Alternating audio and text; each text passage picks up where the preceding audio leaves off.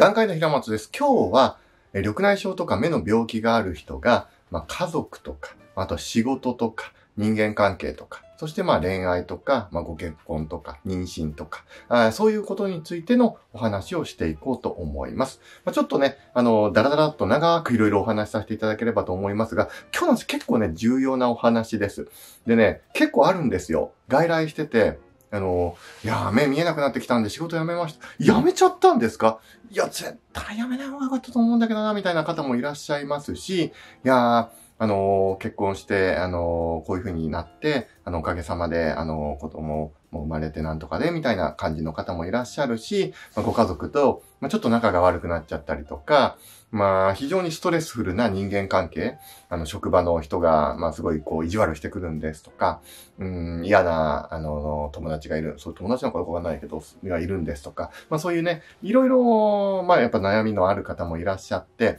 その時に、まあ、もちろんね、あの、人間関係とかそういうね、今回のお話って答えはないんだけれども、まあ、一つの参考になるお話とななると思うので、ぜひぜひ最後まで聞いていただきたいし、今は関係ないやと思ってるかもしれないけど、結構重要に後々なってくる話もお話しするので、ぜひ最後まで聞いていただければって、特にね、今日の話は思う、いつもそうなんですけど、特に今日のお話は思うんで、ま、最後まで聞いていただければと思います。一つ一つね、あの、分解してお話していきます。一個目は仕事。ね。えー、で、次にお話しするのが、ど、どっち順番でいいかな？仕事のお話の後に、まあ、家庭環境とかね、まあ、いわゆるこう、家族関係ですね。で、恋愛とか、まあ、そっちの話をできればな、っていうふうに思います。じゃあ、仕事どうなのっていうと、仕事はね、まずはいきなりね、対象が悪くな、あの、要は目が悪くなったりとか、いろいろすると、もう迷惑かけちゃうし、やめちゃおうってね、なんか異様に踏ん切り良くなっちゃうことってあると思うんですよ。で、その気持ちもわかる。ね。例えば、あのー、病気になったら、それはね、やめた方が迷惑かかんないかなっていうのもあるんだけれども、できれば、いきなりやめるのは、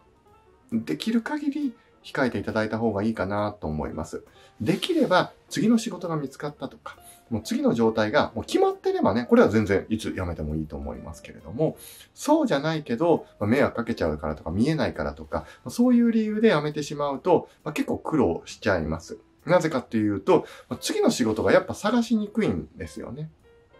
なんとなくイメージとして、まあね、迷惑かけちゃうからっていうのもあるけど、じゃあ、イメージは仕事を最初探した時のイメージがあって、まあ仕事普通に決まったしって思うかもしれないけど、なかなかやっぱね、難しいですよ。見えない状態で仕事を探すってなるのは。一方で、今いるところで、まあ、うまいことを働いていくっていうのは、意外とね、あなたは迷惑かけちゃうからダメだって思うかもしれないけれども、ちゃんと話したりとか、周りにある程度の理解があれば、意外といけるもんなんですよ。いや、すんごい理解がない上司がいるってあるんですけど、そんな職場でもうまくいってる人も意外といるんですよね。なぜかっていうと、もちろんあなたがね、今まで通りの待遇や素晴らしい状態にしながらも仕事を楽にしてくださいって言われたら、それはね、ねそんなこと言うなっていうことになるかもしれないけれども、まあ、じゃあ例えば、給料反映してくださいとか、そ、そんなこと言う必要はないけれども、じゃあこういう勤務体系にさせていただいてとか、ある程度情報していくと、まあ、会社としては、なんていうかな、なかなかね、フルタイムでがっつり働いて、ガチガチやるっていう勤務体系の人をやっぱ望む人が多かったりするわけなので、中途半端な勤務体系にもかかわらず、その仕事のことを分かってる人って意外と少ないんですよ。なので、まあ、例えばあなたが短時間勤務にしますとかってなった場合、ありがたいなってああったりするんですよね。っていう選択肢もある。短時間勤務って選択肢。はたまた、まあ、一回休職する。ね。あの、お休みして、やめるんじゃなくて、で、あの、また戻ってくるみたいなやり方だったりとか、えー、いろんな選択肢があるんですよね。まあ、例えば、その給食とかで、うんと、いわゆるこう、病気でっていう場合は、ある程度雇用保険とか、まあそういうものがね、出てきたり、もろもろするので、まあ、会社としてもまあまあまあいいかなっていうのもあったりするんですよ。なので、まあちょっとそこは、会社と話して、まあ、あの、いまいち中小企業の社長でそういうの分かってない人がいたりすると、社労士さんとか、まあ、そういう人に相談してみたりすると、あ、あの、こういうのだと会社も、あの、メリットありますし、あなたにとってもいいと思いますよっていう選択肢があります。まあ、ネットでもね、そういう情報たくさんありますので、まあ、ぜひちょっと探してみていただいて、いきなり辞めるんじゃなくて、まあ、できれば、あの、そこで、あの、やってってっていう風にして。もちろんそうしながらも、今の自分の状態、または今後の自分の状態でもできる仕事は探していくのが、まあいいかなと思います。もちろんね、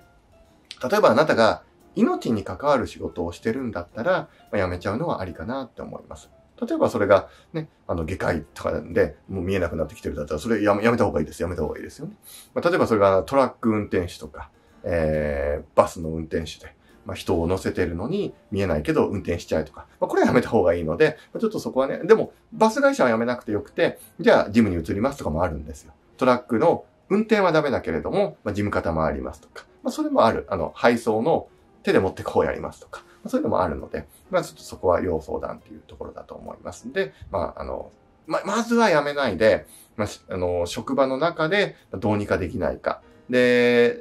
その、どうしてもちょっと厳しい場合は、あの、今の勤務体系から変えるとか、まあ、そういう選択肢はできないか。で、次に休職、休むっていう選択肢で、まあ、どうにかできないか。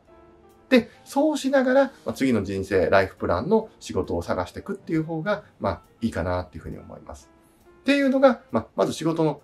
全体としてどうしていくかね。本当にね、結構ね、これでね、あの、病気は良くなったのに、あの、仕事がなくなっちゃって困っちゃうとかいる、いるんで、ちょっとそこは、あの、頭に入れていただけるといいかなって思います。で、次に、見えないなりに、まあ、どうしていくかっていうのもちゃんと考えてほしくて、まあ、ロービジョン外来とかね、まあ、いろいろありますけど、あの、見えないことに着目してしまうと、もうそれは見えないじゃないですか。けれども、例えば、見えないんだけども、え例えば右目はほとんど見えないんだけど、左目が見えるってなると、まあ、これ大抵の生活はできるんですよ。もちろんね、すごい細かい作業とか難しいのかもしれないけど、例えばそれで、えっ、と、まあ、運転もされている方もいるし、はたまた、えー、例えば絵を描いている方ももちろんいらっしゃるし、まあ、大抵の仕事がそれでダメってことはあんまり経験上ない感じなんですよね。もちろんね、あの、精神的に辛くてやめるとかそういうのはあると思いますけれども、あの、片目が見えない、いや、あなたが現時点で片目をね、つぶってほしいんですよ。で、左目で開けてってやると、歩けるし、まあ今の仕事できなくないですよね。大抵の仕事はね。っていう感じなので、だから、頭の中ですごいもう悪くなっちゃったからダメだって思ってしまうと、もうそっちに注目してしまうんで、できることに注目して、まあ、仕事の仕方とか生活の仕方をちょっと見直していただければなと思います。で、家族関係、人間関係になってくるんですけども、だから、あのー、家族とか人間関係って場合、この場合、自責多責っていう考え方があって、例えば人に当たっちゃいやすい人とか、もうあいつのせいだとか、もう家族のせいでまあ遺伝でこうなったんだとか、いろいろこうね、人のことを悪く考えるっていうのも一つの人生の考え方なんで、まあそれそれで否定しないんだけども、まあそれをしてると、まあ、無限に悪い方のループに入っていくことが多いですね。もちろんそれはそれで一つの考え方ですけども、もう一つが、まあ、自分であのできることは何なんだろう、自分でやれることは何なんだろうっていうふうにした方が、まだちょっとトラブルは起きにくいかなと思います。まあもちろんトラブル好きな人はそれそれでいいんですけれども。で、家族の場合は、えっ、ー、と、家族が協力的な人もいるし、まあ、非常に非協力的なこともあると思います。特に、まあ、義理の家族とかってなってくると、なんで私がこんな面倒見なきゃいけないのとか、特にね、あの、本当に悪くなった後って意外と手を差し伸べてくれる人もいるんだけども、悪くなる前にできる限り距離を取ろうとして、例えば、えっ、ー、と、あなたが、まあ、おじいさんおばあさんの立場だったとして、まあ、孫もいて、で、その子供、例えば息子の嫁とかが、あの、なるべく連絡取らないようにしてきたりとか、すごく冷たくあったりとか、まあ、これ結構よくあることなんですよ。で、まあ、その時期は、まあ、しょうがないかなと思って、で、ただ、まあ、最終的に、それを無理やり仲良くしたいかどうかは、もう本当にそこはあなた次第で、もちろんね、まあ、息子さんは大切な息子さんで話したいとか、お孫さんにも会いたいとかってもあると思うから、まあ、あのー、ね、迷惑はそっちにはかけないからって言っといて、ね、後々実際迷惑かけちゃうかもしれないけども、まあ、それはそれで一つね、かけないつもりであなたはいるわけだから、そういう風にしてあげた方が、まあ、スムーズに人間関係はある程度行くことが多いかなっていうふうに思います。また、あの、すごく人間関係としていい関係を築けている場合も、なんていうか、病気の自分っていうので、なんていうか、弱いんだから、こうしてくれて当然だっていう風にしちゃうと、最初はね、周りの人も非常にこう対応してくれるんだけれども、それが積み重なってくると、いやもう、あなたいくらなんでもそこまではちょっと違くないっていう風になっちゃうこともあるので、どっかでやっぱり周りの人への感謝の気持ちとか、そういうのは忘れない方がいいし、あの、感謝の気持ちは意図的に口にした方がいいです。ありがとうとか。そういうのを言っておいた方が、まあ、あなたとしては当たり前と思うかもしれないけど、例えば病院に連れてきてくれたとか、ね、あの、いろいろこうサポートしてくれたとか、ね、そういうのがしてくれたら、まあ、ありがとうって伝えておいた方が、まあ、あの、スムーズに人間関係はいくので、まあ、ぜひぜひそれは、あの、伝えていただければなって思います。結構ね、うーん、当たり前になっちゃうんですよね。そして、自分が病気だから、自分って守られて当たり前になったり、その気持ちはわかる。わかるんだけれども、どちらかというとあなたの人生を考えていく上で、その戦略を取ることは、とてもあなたの人生にとって、あまりいい方向性を向かない。うん。つまり、ありがとうっていうことのデメリットってあんまないじゃないですか。ね、なので、ありがとうって言っといた方が、ね、うん、まあ、それって古速な考え方かもしれないけれども、とてもいいことだと思うので、まあ、あの、そういうふうに意図的に周りの人には言うようにして、あの、感謝の言葉は、本当にね、伝えようと思わないとなかなか言わないんですよ。家族が連れてくれるのは当たり前って思いがちなので、ちょっとはありがとうって一言ね、思ってない時でもいいから、あの、感謝しなきゃなって自分で思って、一声かけておくと、まあ、あのね、向こうも、あ、感謝はしてくれてるんだ。まあ、ちょっと大変だけどなって思ってくれやすいので、まあ、一声ありがとうっていうのは気をつけておいた方がいいかなって思います。で、恋愛関係とかそういうの、あとは特に、えっと、遺伝とかね、病気とかって考えてくると、まあこれは緑内障とか特に網膜色素炎性症とかであると、やっぱりこう、子供になっちゃうんじゃないかっていう心配。で、まあ、そういう心配もあるから、まあ、結婚とかそういうのも難しいんじゃないかなって考える方もいると思います。で、結論から言うと、うん、あんまり、その因子は一部であるって感じですね。つまり、あなたが確かに見えないっていうのは、とか、まだ見えなくなってないけど何らかの病気があるとかね、あった場合っていうのは、それはね、プラスではないことは、まあ確かだとは思いますよ。でも一方で、その他の要素ってあるわけじゃないですか。例えば、見た目がかっこいいとか、可愛いとか、え肌が綺麗であるとか、はたまた、これ見た目の話ね。次が、話が面白いであるとか、明るいであるとか。ね、いろんな要素があって、その中の一つとして、まあ、病気あ。あなたにとっては確かに病気って、すごく大きな因子なのかもしれないけども、相手にとってみると、話し方の方が重要な因子だったりとか、うんと、さっきの感謝をしてくれるのが重要な因子だったりとか、いろんな他の要素、相手にとってみてどれが重要かってまた別の話なんですよね。もちろん、相手が病気をすごく重視する人だったら、なかなかうまくいかないかもしれない。でも一方で、あ、病気、あ、別に？っていう人もたくさんいるわけで、まその人が、まあ、逆に言うと、まあ、じゃあ、明るく話してくれる人が好きっていうんだったら、まあ、そこがね、ダメだったら、やっぱこれはこれはもう全然うまくいかないわけなので、まあ、他の要素として、まあ、相手に合うかどうかっていうのが重要です。もちろん、いやー、そうは言ったって私で、あの、仕事もあんまりしてないし、まあ、太ってるし、まあ、なんか性格もちょっと暗い方だしって、そういうのもあるかもしれないけれども、もうこれはもう相手との相性なわけなので、なんだけれども、ここのがいいとか、逆に、あの、なんていうかな、あんまり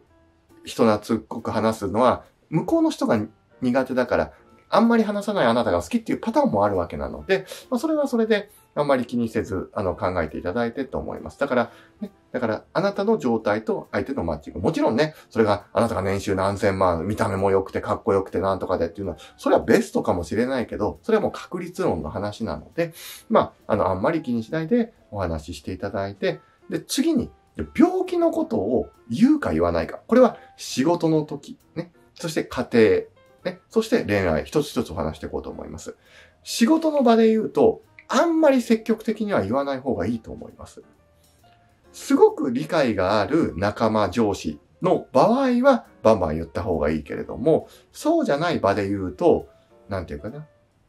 病気を理由に何とかしてるとかって変に言われちゃうこともあるし、はたまたなんていうかな、病気なんだからやめろよ、みたいな空気感を仕事場で出されちゃったりとかしてくることもあるので、あんまり、ね、それを言わなきゃいけないとかってなんか特殊な取り決めがあれば別だけど、そうじゃない限り、あなたの病気をわざわざ言う人はないです。あなたの友達が高血圧ですってわざわざ打ち明けてきたりだとか、あなたの友達が実はちょっと癌を抱えてたりしても、癌ですってわざわざみんなに言わないじゃないですか。そうなんですよ。だから、わざわざ言う必要がある段階、つまり、みんなに迷惑をかけなきゃいけないくらい明確になってきた場合に、初めて、それも、あの、特定の人に言うっていうふうに考えればいいので、あんまり、あの、じゃあ、早くこの病気を言わなきゃっていうふうにはしない方がいいと思います。と、あの、すっごくいい職場を除いてね。次に、家族関係。まず、まあ、いわゆるこう、結婚してるとかの家族関係の場合は、奥さん、旦那さんには、まあ、さすがに僕はこれは言っといた方がいいかなっていうふうには思います。で、そうした方がね、人生設計を、まあ、大体同じようにね、過ごしていくわけじゃないですか。っていう場合、じゃあ病気だからこうだよねっていうね、そんな重い感じじゃなく、あの、お話ししていただいて、じゃこの病気どうなのって場合は、僕の動画をどっか見せていただいて、こういう感じの病気なんだよっていうふうに、まあ、伝えていただければいいかなっていうふうに思いますね。じゃあ、子供に伝えるべきか。うん。これは遺伝の関係が、なんていうかな、ある病気であったとしても、なかなか慎重になっといた方がいいかなって思います。うん。なぜかというと、お子さんの場合は、まあもちろん年齢にもよりますけど、あなたの病気のことをどこまで理解できているか、分かっているか、はたまたそのイメージをちゃんと捉えられているかは難しいところですよね。それを悪く捉えちゃったりすることもありますし。